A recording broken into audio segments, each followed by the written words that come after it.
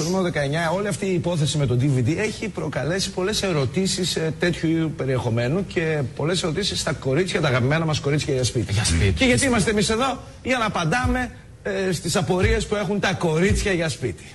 Πρέπει να έχω σταθερό σύντροφο για να βιντεοσκοπήσω την ερωτική μου ζωή; Κάθε άλλο. Το μόνο που χρειάζεται να είναι σταθερό είναι το χέρι του συντρόφου που θα τραβάει τα πλάνα. Μπορεί η βιντεοσκόπηση των προσωπικών μου στιγμών να σημαίνει και να προκαλεί αύξηση της απόδοσης του παρτενέρ μου. Για τον παρτενέρ σου δεν είμαστε σίγουροι. Όλοι οι άλλοι όμως που θα τη δουν σίγουρα θα έχουν αύξηση απόδοσης. Αν αυτό ικανοποιείται βλέποντας το βίντεο που έχουμε τραβήξει μαζί, είναι κακό. Καθόλου. Αυτό σημαίνει πως του άρεσε. Πρόσεξε όμως να μην του άρεσε τόσο πολύ ώστε να το κυκλοφορήσει στα περίπτερα. Επειδή αυτή η ιστορία κρύβει παγίδες, υπάρχει περίπτωση ενώ δεχτώ να υποκύψω στις ερωτικές του πιέσεις, μετά να πέσω στα μάτια του επειδή δέχτηκα να κάνω αυτό που μου είπε και κανονικά έπρεπε να δισταθώ σε αυτό. Τι σε νοιάζει, κοπέλα μου; Μπορεί να πέσει στα δικά του μάτια, αλλά σίγουρα θα ανέβεις στα δικά μας. Άντε, να με βιντεοσκοπήσει αυτός πάει και έρχεται.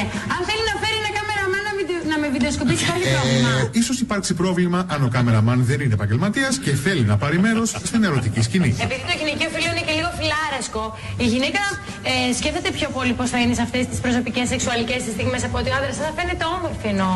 Ένα φρεσκάρισμα σίγουρα θα το χρειαστείτε. Άλλωστε, από ό,τι έχουμε παρακολουθήσει τελευταία, τα κεφάλια των παρτενέρ δεν πολύ φαίνονται στις ροζ ταινίες. Μάλιστα.